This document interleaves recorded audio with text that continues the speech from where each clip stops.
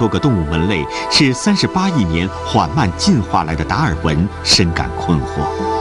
而寒武纪地层中仍在不断出现的新化石，让现代学者们用了一个半世纪也没有说清这场大爆发的规模究竟有多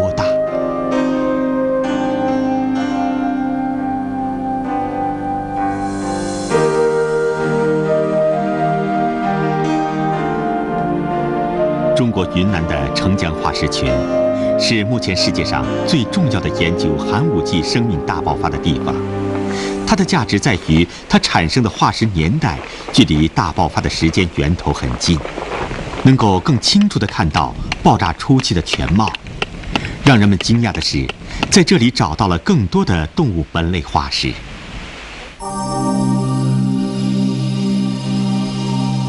高等的脊椎动物是通过半索动物和脊索动物等中间类型，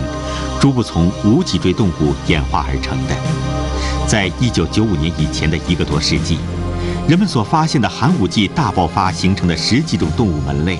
全部都属于以三叶虫为代表的无脊椎动物。最早的脊椎动物鱼，仍然只见于寒武纪之后的奥陶纪。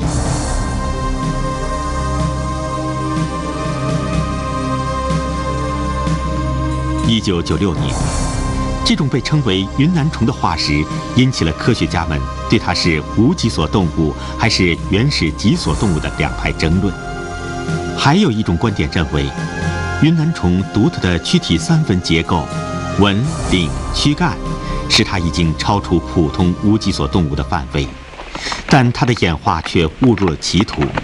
没能达到真正脊索动物的正统谱系，所以。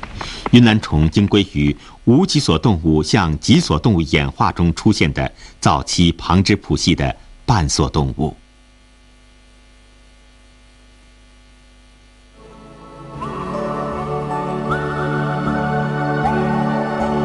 云南虫的讨论使人们突破了寒武纪大爆发限于无脊椎动物的观点。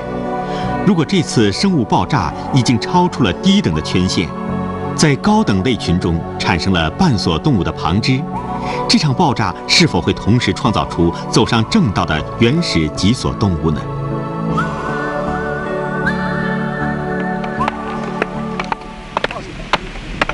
不久，人们从澄江化石中解剖出了一枚极为罕见的小型动物化石，这是世界上已知的最古老的低等脊索动物化石，它具有典型的脊索动物的机械构造。宽大的咽腔和密集型鳃裂，古生物学家称它为“好运华夏鳗”，希望它能给古生物学研究带来更美好的前景。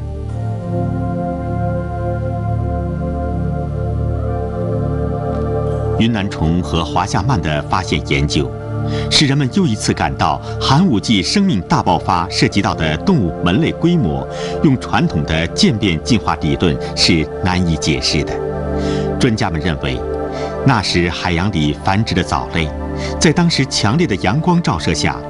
光合作用使地球海洋的氧气含量大大增加，这可能是寒武纪大爆发的重要原因。那么，在中国云南澄江这块五亿三千五百万年前的浅海湾里，在寒武纪生命大爆炸的最初巨响中，会不会产生最高等的脊椎动物鱼呢？请您明天继续收看我们的节目。